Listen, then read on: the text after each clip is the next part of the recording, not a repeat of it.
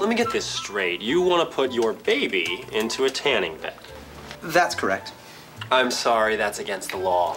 Look, pal, we are well aware of the law, okay? And we don't want to jam you up here. We just want to put him in there for a couple of minutes. Just to get a base. Just to get a base. We'll sign whatever waivers or whatever you need us to do. So let us cook him for a couple of minutes and we'll be out of your hair. I'm feeling compelled to call the authorities. oh, are you? Well, then why don't we take our business elsewhere? I sense some judgment in your voice, sir, and I don't appreciate it. You could have helped change this child's life forever. You chose not to. That's on you. I can live with that. Come on, DB.